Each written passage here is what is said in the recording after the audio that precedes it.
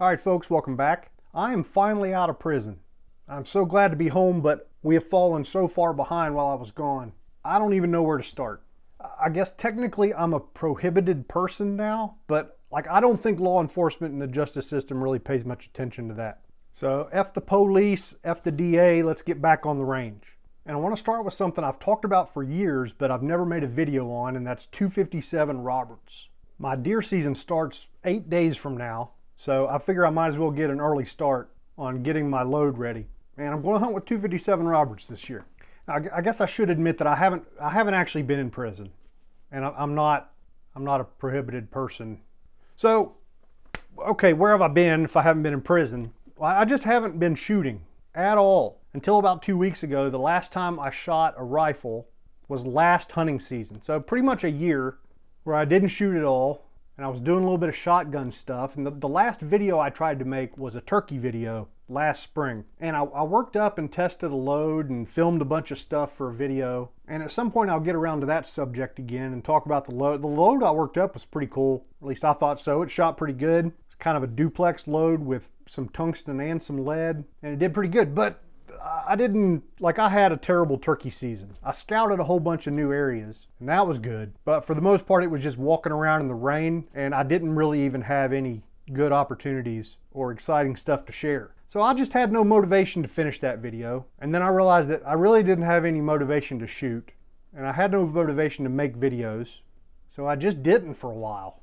And I'm still not sure that I do this like I've got I've got a, a handful of videos that I want to make that I'm kind of pretty excited to make, including this one today. But this might be something of a farewell tour. Like I, I might be done with YouTube. It's just a much different place than it was back in the day, and my motivation's pretty much gone. But who knows? We'll see how it goes. Like I said, I've got four or five videos I definitely want to make here in the short term, and you know we'll see we'll see how it goes. Man, the video editing is the part I'm not looking forward to because I canceled my subscription to the to the editing software that I normally use. So I need to switch to something else, and that's a nightmare. So we'll see how it goes. Maybe maybe I'll figure out how to how to put together a video. So like I mentioned, today is 257 Roberts, and the gun we're loading for is pretty interesting. It's also a little bit shocking, so especially you milsurp people, like viewer discretion is advised. This is an Arisaka Type 30 carbine that was Bubba uh, sporterized and rechambered to 257 Roberts sometime in the 1950s or 1960s. My grandfather bought it in its current condition. He, he's not to blame for this one, so don't go casting aspersions on my ancestors. He, he bought it out of the local newspaper classifieds. I think it was in the late 60s. And then about 20 years later, in the late 80s, he gave it to me and my brother to share for deer hunting when we were little kids. I actually used this gun to get my second deer ever, and it's particularly memorable because it was the first one where I was by myself. Must have been about 12 or something like that, but but being on my own and having to, you know, gut the deer and drag the deer out of the woods and all that stuff on my own it's one of my most kind of vivid early hunting memories. Like I, I could, I could, I think I could find that tree I was sitting at if you took me back to that farm. So I'm excited to hunt with it this year. I haven't shot this gun in at least 10 years because I found a big crack in the bolt or in a piece in the bolt. It's actually part of the safety mechanism, but it's a it's a big ugly crack and I didn't know if the gun was safe to shoot anymore. And I've, I've looked multiple times over the years at the, you know, the websites and stuff that sell old gun parts and could never find what I was looking for. But just a couple days ago, I found the part I need and it's in the mail. Today's Thursday, it's supposed to be here on Saturday. So later in the video, we should be able to fix that bolt. And the way that bolt comes apart is pretty crazy. So I'll show you that later. But I think the, the gun is still safe to shoot, but if that breaks off, off, might end up in a situation where I can't get the bolt open or, you know, it's going to be hard to get the round out. It'll all make sense later when we look at it. But part of the problem was like these, the Arisaka Type 30 is, I guess, already less common than the later versions, but this was the Type 30 carbine. C&Rsenal has an amazing video about the Type 30. They, they've got a regular Type 30 and a carbine, and they shoot them both and they've got animations of the action and obviously they go through all of the history. So if you want to know more about what this gun was originally, that's definitely the video to watch. I'll be sure to link it. So the Bubba, uh, the sporterizing job on this guy is not exactly pretty. It's the original stock that I guess they cut down shorter and completely reshaped the fore end. The front part of the bottom metal is particularly particularly janky looking and the shaping work they did on the butt pad looks like it was chewed by squirrels. But the red filled peep sight that they put on the back is pretty nice and it's, you know, they're, they're very comfortable sights to look through. I pulled the stock off to clean it and I had never noticed it before, but there's actually Remington markings on the bottom of the barrel. I don't know how that would have worked. I don't know if, you know, I know sporterizing surplus rifles was extremely popular back then, or maybe Remington sold chambered barrels that the gunsmith would then thread and set up for the action. I don't know. The stocks on these are really neat because apparently the Japanese didn't have access to the to the same hardwoods as other makers, so they made the stocks two pieces and switched the grain direction to make the toe more durable. And behind the trigger guard and you know kind of the main action, there's these metal reinforcements. So it's kind of got this big long tang. I don't know if that'd be called a tang. Apparently all of that was was due to the stocks being prone to uh, to crack in their earlier versions, I guess. But it's a neat little gun. It's pretty light. It's very, very comfortable. Like the balance is amazing, so it's nice to shoot offhand. I already mentioned that peep sight is nice to look through. So it's not a very good example of an Arisaka Type 30 carbine anymore, but I guess it's a bit of a time capsule into the mid-century shooting hobby and what guys were doing with the massive amount of surplus that was hitting the market after World War II. So enough about the gun for now. Let's get into loading some ammo. Okay, so it's the following day. I stopped and edited the intro to this video to see if I could figure out my editing software concerns. So I'm feeling pretty good about that. And our bolt part, I've been keeping a close eye on the tracking info for it. It looks like it's definitely going to show up tomorrow. So I think I'll wait on that before we do any shooting. So the loading part here, I'm hoping it's going to be pretty straightforward. If, you're, if you've never seen a 257 Roberts, here it is lined up with a 308 and a 30-06. A little bit skinnier, a little bit longer, then the 308, quite a bit of taper on the cases. I'm thinking with that taper, these things should be pretty easy to resize. I've got three different types of brass. I've got 20 pieces of brand new uh, Remington RP head stamped brass. I've got some Remington UMC that's older and been reloaded before, but it seems to be in good shape. And I've got some WW Super head stamps as well. In total, I think I've got like 70 something pieces of brass. Now, one thing I'll mention is that all of these are, the, are standard 257 Roberts head stamps. There's also a 257 Roberts plus P. The best description I found for that situation was in the Speer manual, and you'll see their section is actually labeled plus P. And actually it says right here, 1988 was when the plus P variant came about, and it looks like they went from 54,000 PSI to 58,000 PSI, or 45,000 CUP to 50,000 CUP. They say to load non plus P ammunition for older rifles, reduce maximum powder charges by at least two grains. Now, over in the Hornady manual, they say that their data is for plus P, plus P pressure in plus P cases, and it should only be used for modern firearms. Yeah, the note that made me a little bit nervous was some cases currently produced are designed for plus P pressures in the 257 Roberts and have slightly less powder capacity. Segregate your brass by brand and develop loads accordingly. So I took the three different types of brass that I've got and did case capacity measurements. Uh, you, you weigh them empty and then fill them full of water and weigh them again, see how much water they hold. The RP head stamp and the, the Remington UMC head stamp both held just over 45 grains of water and the WW Super held about 45.5. So that seems awfully close. I think we're good to go. You know, should be able to have one load for all three types of brass. And we'll see if there's uh, a bit of velocity drop in the Winchester because that capacity is a little bit higher. It shouldn't matter, but I just I just wanted to make sure that you know none of them had something drastically different. So I've got two different bullets that I think would be perfect for this job. First is a Sierra Game King. That's a 90 grain hollow point boat tail. This one makes me a little bit nervous because I looked up this bullet on the Sierra website and the description says it will perform as a varmint bullet at high velocities but it may also be used on medium game from smaller capacity cartridges such as the 250 3000 Savage and 257 Roberts.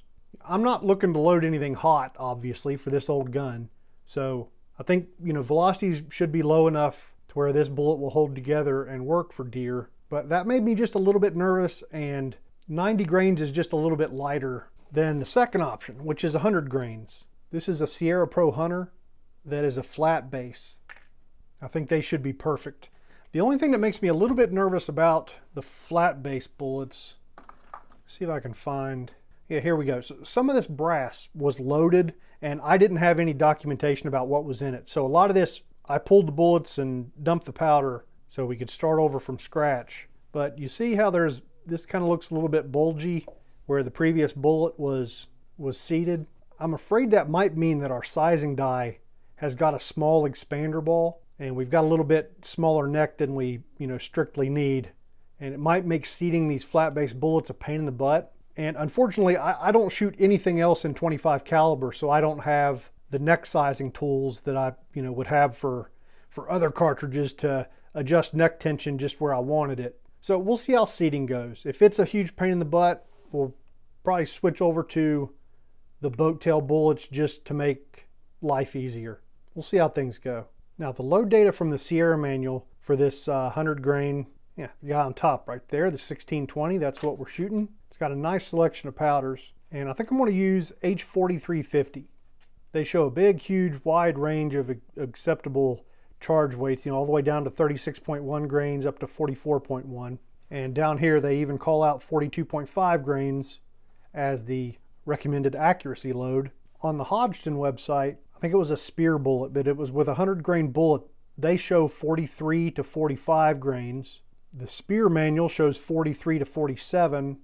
So this 42.5 is actually below the starting charge in the Speer and Hodgdon data. So I'm thinking this might be a good one, good one to go with. Maybe we'll do 42.0 just to just to make sure. There's no reason to there's no reason to get crazy. This gun has open sights. I am absolutely not going to be taking any shots over 100 yards really don't need the extra velocity and we might as well be easy on our brass because this brass is hard to find. I think it's like a lot of these things, you know, it, it, hits the market every few years and people buy what they need, I guess. There is some factory ammo out there and available and I had bought this stuff, I can't remember exactly when, but the package had 2012 on it, I think it was. Yeah, so the, the box art and stuff's from 2012, so it had to be after then. And the only reason I bought it was for the brass. So uh, this is an empty box. I went ahead and pulled the bullets, dumped the powder, and that's how we've got 20 pieces of brand new brass. So you can see back here, we've got plenty of H4350 powder. I'm going to use Winchester WLR primers. The die set I've got is a standard two die set from Redding with a full length sizing die. Yeah, there it is, full length sizing die and a standard seating die. Actually, I'll tell you what, while I've got this out, I want to measure this expander and see about where it's at. It's 255, which is exactly what I would expect. You know, it's two thousandths under the bullet diameter. So hopefully that'll be good. These dies are pretty greasy. I better, better clean them before we use them. So let's see, is that it? I was looking at overall length a little bit ago. So this is at about 2.775, which is what the, the manual says. And that puts the base of the bullet down below the, uh, you know, the junction of the shoulder. So we could, we could stretch this out quite a bit if we wanted to. I was looking at the max overall length the other day, and I guess I didn't write it down, so pull this out so it's barely seated. Grab the gun real quick. If I'm remembering correctly, it was coming out right about three inches. So let's just push this in and let the rifling seat that bullet.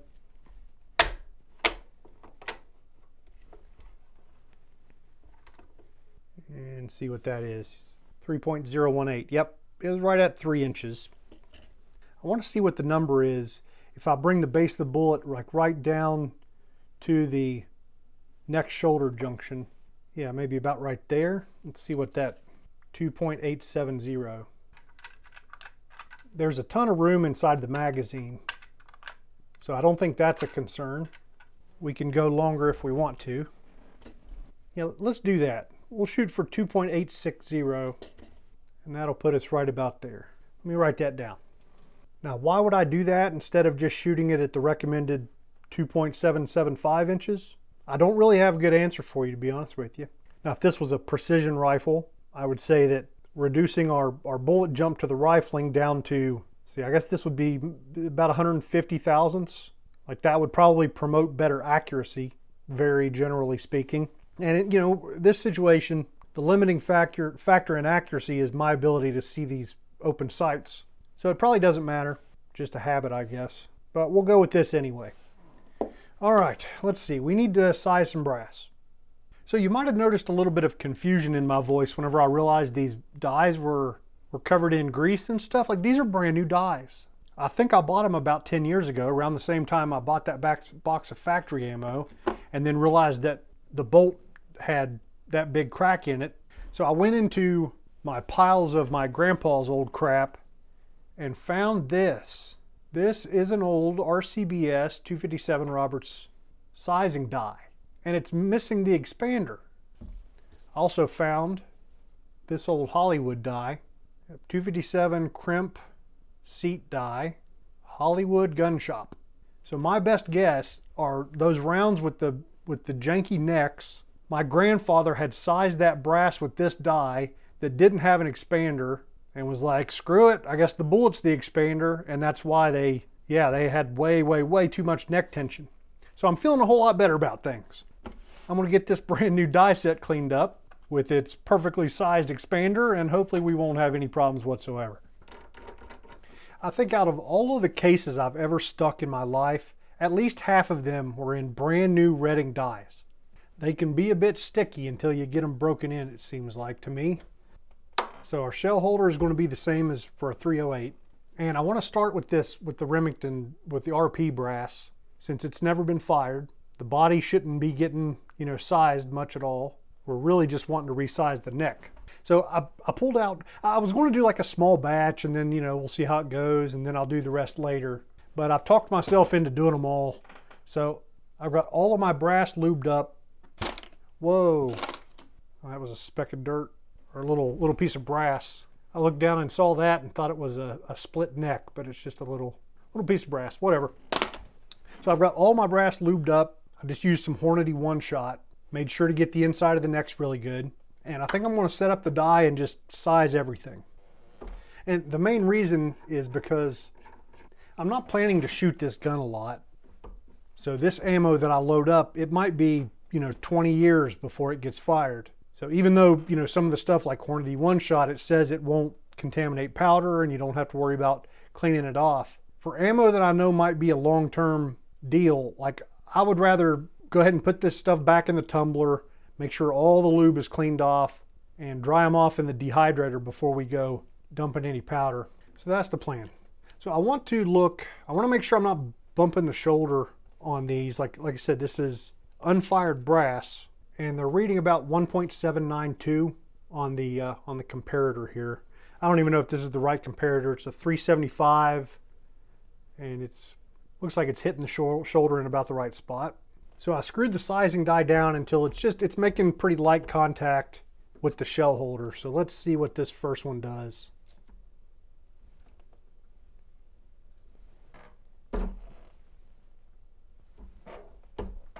Up in there, very, very little resistance.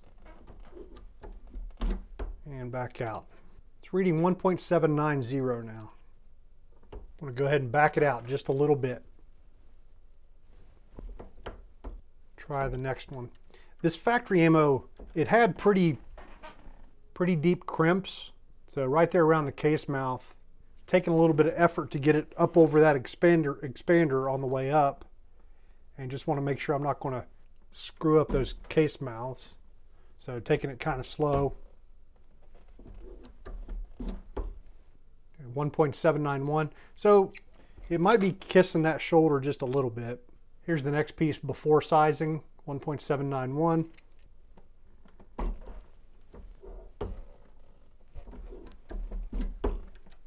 And after is about the same. So good. I think it's I think it's right at the shoulder. Let me see if I can find one of the other head stamps. Here's the, the WW Super head stamp. It's currently at 1.793. I can tell by the by the neck on this one that it was, you know, it's one of the ones that was still loaded that I pulled a bullet out of. It's got that bulge. So let's see how it does.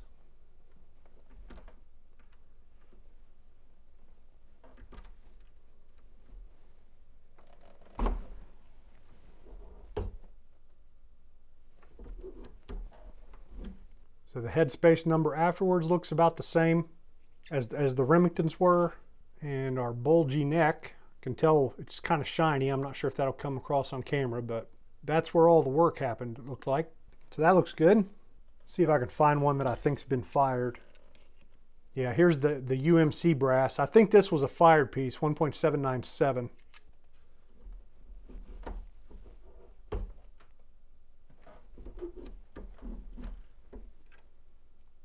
Very smooth going in and out. Came out 1.792. I guess before I go further, I want to take all of these, I want to take these sized pieces and make sure they chamber in the gun smoothly.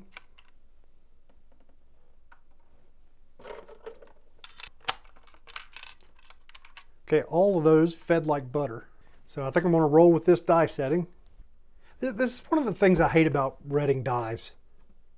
This is what the expander looks like. And there's really no, like a lot of other dies, I'll grab one here in just a second and show you. A lot of the others have a, a tapered portion to where, you know, if you've got a janky neck that needs ironed out, it's got a little smoother way to do it. These are, uh, it's just, it's, it's a pretty severe all or nothing sort of situation. It's a pain in the butt. See, here's one from a Hornady die. Nice taper on it. No matter how jacked up your case mouth is, it's going to it's going to be able to straighten it out. So that's what I'm talking about, and that's what I'm trying to be careful about.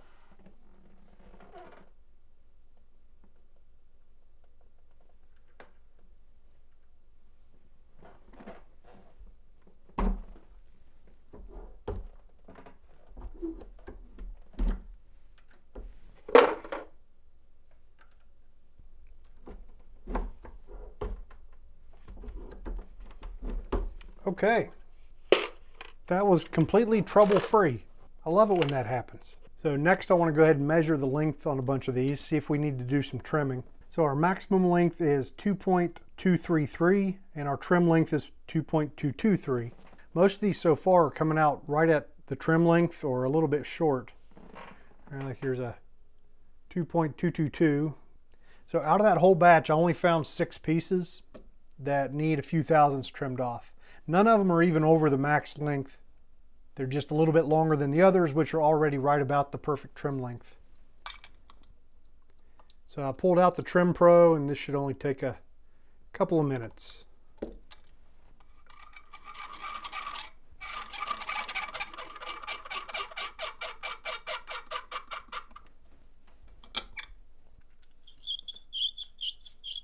Okay, I'm to go tumble these in some hot soapy water for a few minutes and then give them a couple hours in the dehydrator and we'll be ready to move forward.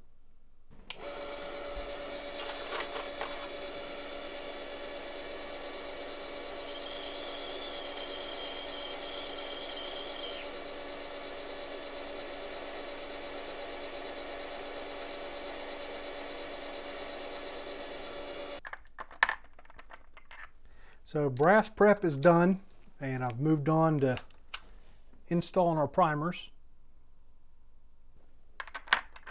I'm just going to go ahead and prime all 73 pieces of brass that I've got. And hopefully things will move quickly from this point forward. Okay, so we're ready to weigh out some charges and get to seat and bullets. I was revisiting my load data and thinking about it some more. I think I'm to drop down a little bit more. These, these first two loads, I want to load five shots at 41.0 grains and five shots at 41.5 and just see where we're at as far as velocity goes. Because at least the Sierra load data is done with a 22 inch barrel. And I think the barrel on this, I, have measured from, you know, the bolt face to the end of the barrel is 21 and a half. So it's not much shorter. And 41 grains should get us about 2,800 feet per second.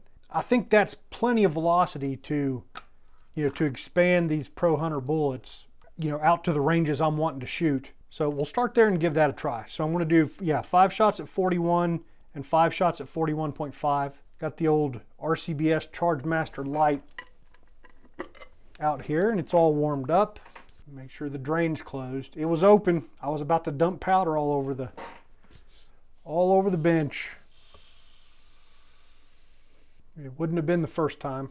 I'm going to grab a couple check weights and test the scale. There's 20. Looks good. There's 40. Perfect. So 41.0, go.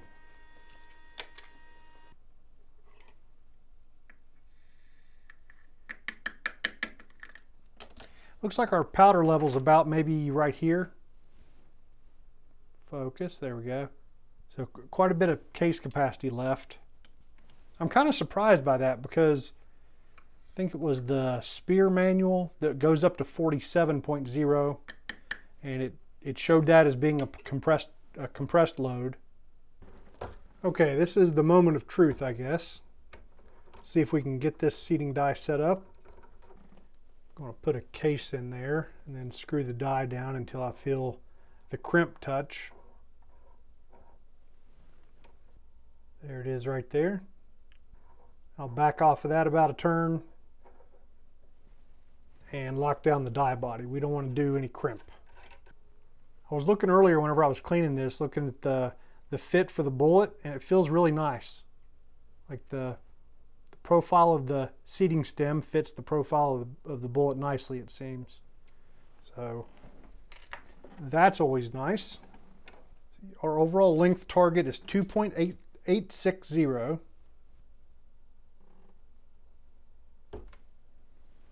Okay, felt like it seated a little bit. Definitely still too long. It started really nicely. Right at 2.9 right now, so down about 40 more thousandths, which if I'm not mistaken, each turn of this thread pitch is about 40 thousandths. I'll go half a turn and see if it, see if that's about 20. 2.884, so yeah, that was around 20.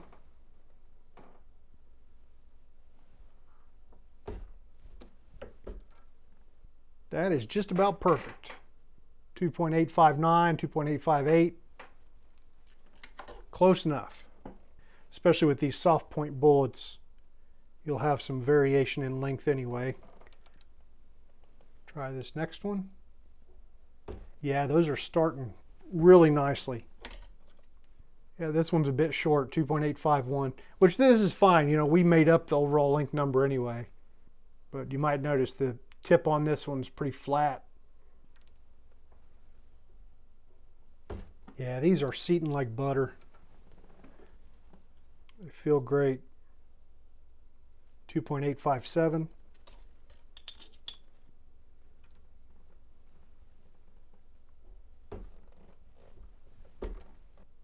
Two point eight five six. Could go ahead and measure the, the neck tension. So the diameter right now before we've seated a bullet is 0.282.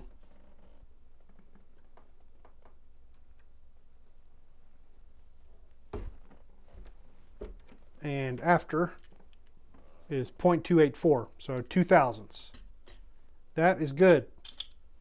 That is really good. Like I mentioned, they're seating super duper smooth, but you know, there's enough resistance there where it feels like we've got sufficient neck tension. Sometimes they go in a little bit too easy and it makes you kind of worried. So it's definitely not that. It's feeling perfect. It looks like they're all just a little bit short and the ones with particularly boogered up tips are a bit shorter. But I've got like three or four of them that are 2.858 which is two thousandths shorter than our target. Perfectly good enough for me. There's one that's 2.860 so I'm very very happy with that. So our ammo is ready for the range we just need a bolt that's repaired. And I guess we could go ahead and tear that bolt apart tonight because the part's getting delivered to my P.O. box, so I should be able to go pick it up first thing in the morning. So might as well get as much preparation done tonight as we can. So this bolt isn't too bad to take apart, but you, yeah, back here things get a little bit weird and you gotta know the order of operations. The head just turns 90 and then pulls out. And this comes off like that, and then that pops off. So there's those. And then in the back, we start unscrewing this thing. Actually, I think I need to move this over to there. And then once this is out so far, you'll stop making progress. And it's kind of confusing as to why it won't keep uh, unscrewing. And once it starts popping like that, jumping threads, what you have to do is compress the, uh, the firing pin end. And the body from a pin seems to work pretty well. Just kind of push the whole thing and it'll start lifting off like that. Then what happens is this thing splits. It's actually two pieces. And then you're done. Did you catch that? So what's actually going on in there is inside of that this split bolt is a groove where the, the firing pin lays like that. Thank God for YouTube. I never would have gotten this thing apart without some tutorial videos. So our bad part, this guy right here, you just drop it out the side like that. And there's a better look at our crack. Have a look at my crack. So the back part with the hook on it, that's what these two made up. And that's how you move the, uh, you know, the safety. And this is where your trigger sear sits. And that crack is alarmingly close to that. So hopefully the part that comes in is a perfect match. I think it should be. And I guess what I should probably do tonight is throw all of this stuff in the ultrasonic. While I've got it apart, might as well. Yep, might as well. Okay, that's it for tonight. I'll see you guys after I've got the part in my hand. All right, folks, I think we're in business. Does it look like the same part? Here's what I, I never realized. This was actually broken worse than I thought. I think the overhead view here is where it's most obvious. Yeah, there's a big old chunk that has been missing. That's opposite. See, that's where it's broken. And then the other side is where the big crack is. So this piece was even more jank than I thought it was. Everything looks the same.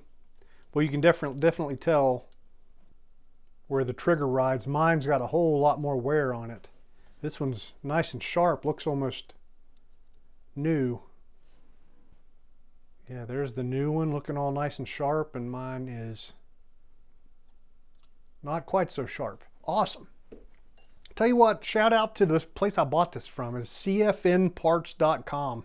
The price was reasonable. It was like 20, $22.50. I ordered it in the morning and they had it in the mail on that same day. So really good stuff. Uh, at another, I think it was another site, I had found an entire like bolt assembly with everything except the except the bolt head that was like 150 bucks. I thought that's what I was going to have to do, but 22 bucks is a lot better than 150. So feel happy to have it. All right, let's get this thing. Let's make sure this, yeah, there's the two pieces fitted together, looking good. All right, let's get it reassembled. Actually, I'm gonna grease this stuff up a little bit before I put it all together. All right, everything's got a light coating of grease, like your greasy grandma. And assembly should be pretty straightforward. Our two, see these pieces that go on the bolt head, the extractor, and then this other thingy, I think goes that way. Okay, that part's ready. And our new part, and our new part drops in here like that. And there's that. Got that rotated incorrectly. There it goes. Spring on that guy. And then I guess we need to compress it again. That last pin I used wasn't quite, now my hands are covered in grease and I gotta get this out of here. I need pliers. There we go.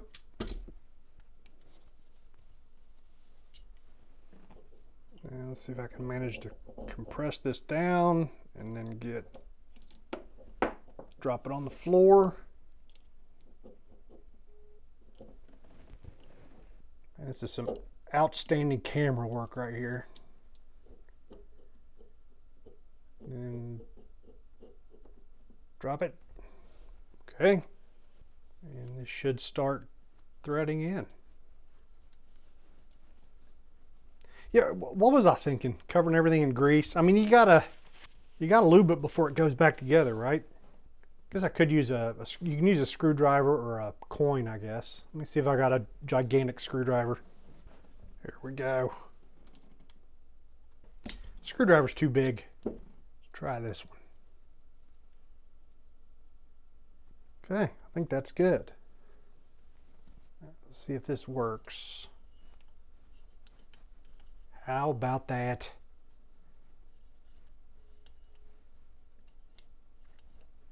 Looking good. See if I can get the orientation of this bolt head correct. All right, I think we're good. Assuming I've got this oriented correctly, I might have to, it might be that way. I don't know. Let's go shoot it.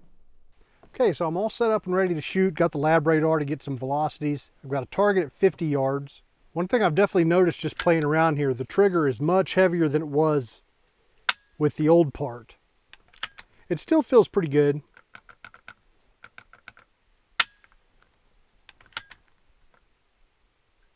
But just quite a bit heavier. And I forgot to hit record on the target camera. Stand by. Okay, first shot, 41.0 grains. Let's see what happens.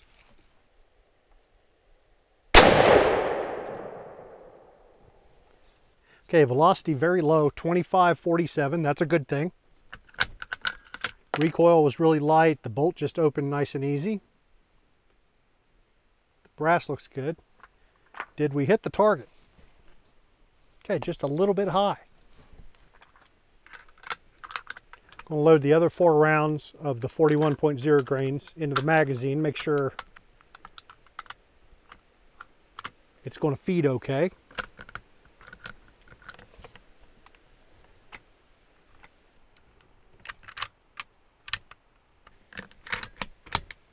Shoot a few more.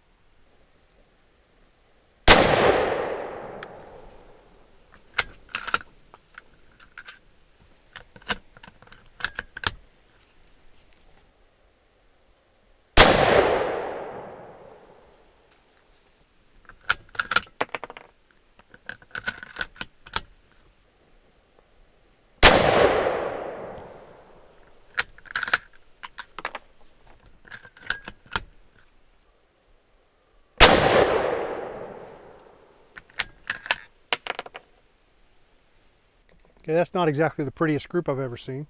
And I don't remember the gun shooting that high in the past. Unfortunately, the rear sight is as low as it can go, so we might be out of luck. Tell you what, let's go ahead and shoot five more, the 40, the 41.5 grain loads, and then we'll move the target to 100 and see where our, where our groups are hitting. Okay, 41.5.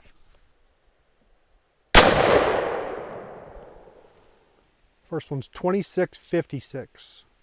I switched to kind of like a six o'clock hold, put my front side post right below the red for one to separate the groups, and that should put us pretty close. Looks like it's looks like it's pretty close.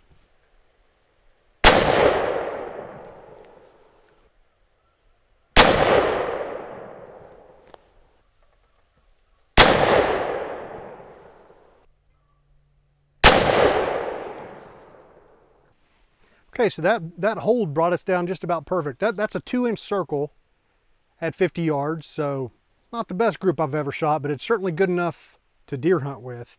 All the brass looks really good, and our velocities, I'll calculate the averages and put them on the screen for you, but I don't know what they are. I just have the individual numbers. It looks like we were about 25, 60-ish, and about 100 feet per second faster with the next, with the 41.5 grain load. So what I want to do is I'm going to run inside and load a couple more. I feel like we should have, you know, we've got room to move up a little bit. I wouldn't mind a little bit more velocity. So I think I'm going to load what I uh, originally was going to load, 42.0 grains. So I'm going to load some 42.0. I'm going to do it with, well, I'll do, I'll do some shots in all three different types of brass and we'll compare the velocities. So that'll only take a couple minutes. I'm going to leave all my crap out here. No need to film it. And I think we'll move the target to 100 yards. We'll see where it's printing at 100. Okay, so I've loaded up three shots with each of our three types of brass. at 42.0 grains. We'll start out with the same RP head stamps that we've been shooting to see what our velocity looks like. I'm assuming somewhere right around 2750. Let's find out.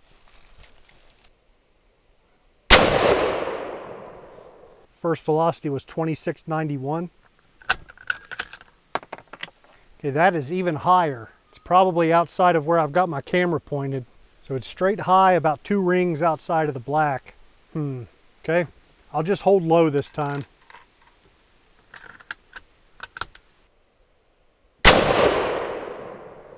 Twenty-seven forty. Figured that's about where we would be.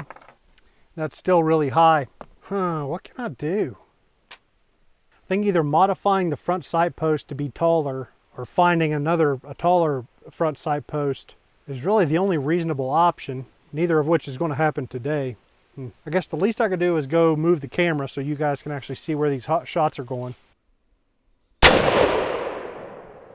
then that one's down in the black. That's weird. Somehow that second shot, I guess I just wasn't aiming as low as I thought I was. Okay, next brass. This is the Remington UMC brass. So on the lookout for unexpected high velocity here. 2742, which was exactly the same as the as the last shot with the other brass. Good.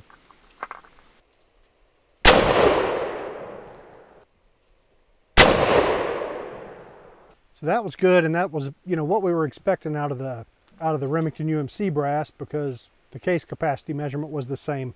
These next three shots are with the Winchester brass, and it has a little bit more case capacity, so I expect that the velocities will be a little bit lower.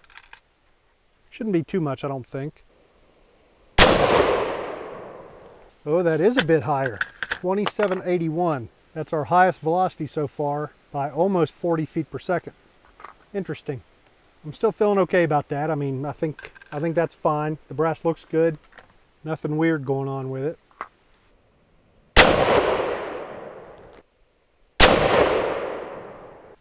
Okay, so very successful on the reloading front. I just need to think if I need to think through this uh, sight situation. I'm trying to think if there's anything I can do quickly. Let's get back to the bench.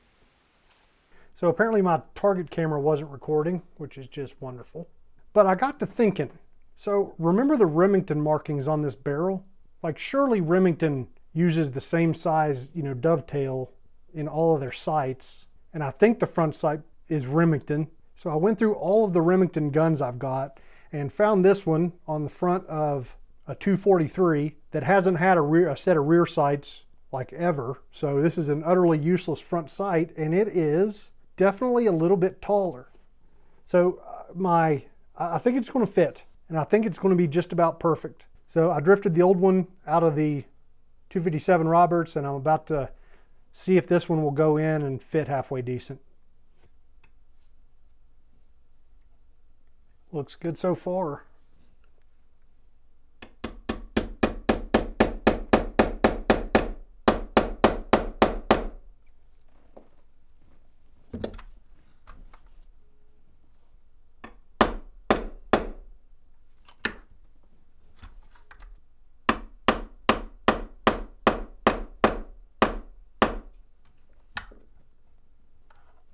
I've got windage adjustment on the back, so I don't need to freak out about centering it too much.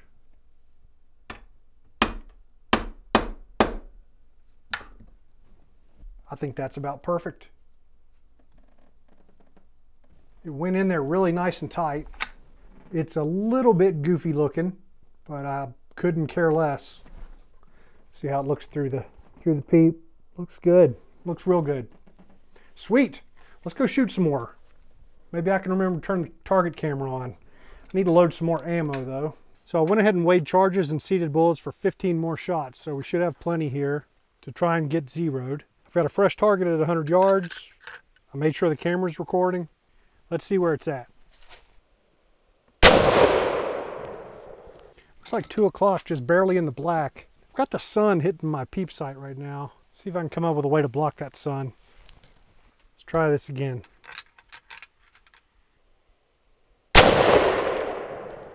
Okay, that's better. That's two shots that are a little bit to the right. Just gave the rear sight five clicks. See what that does. It's low in the black. Who knows, man?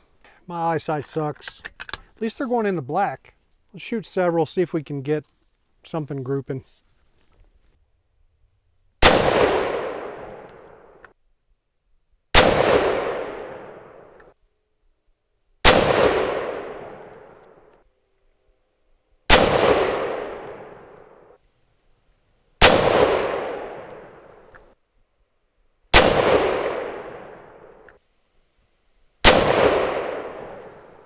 Okay, so all of them are in the black. I feel like that's all I could ask for. If anything, it's shooting just a touch low. Yeah, it looks pretty good. Tell you what, I got five more shots left. I want to shoot those at 50 yards. So let me move the target camera and hopefully I can aim a little bit more precisely at 50. This front sight post kind of sucks. Like the, the bead is bigger than the last one and it's a lot bigger than the black circle down there and I was having having a hard time getting a, a really tight hold. All right, let's move to 50. Okay, five shots left. Target's at 50. I took a couple of those clicks that I had given it left. I put it back to the right a couple clicks. So let's see where we're at.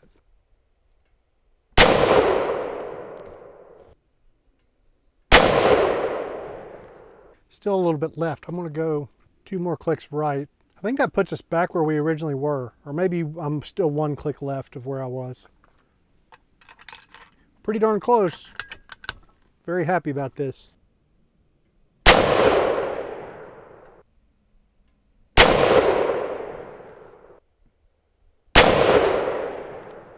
All right. Yeah, that's what I'm talking about. That should get the job done. I did come up a couple clicks, just like two clicks on the rear sight before I shot this 50 yard group. And I could go one or two more, but I'm not going to worry about it. A half inch low at 50 yards is perfectly good enough. And that should put us just about right at 100, I think. So, yep, we're good. Feeling a whole lot better now after switching this front sight post. Let's get back to the bench.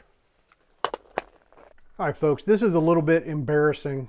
Have a look at that split neck. I didn't even notice it.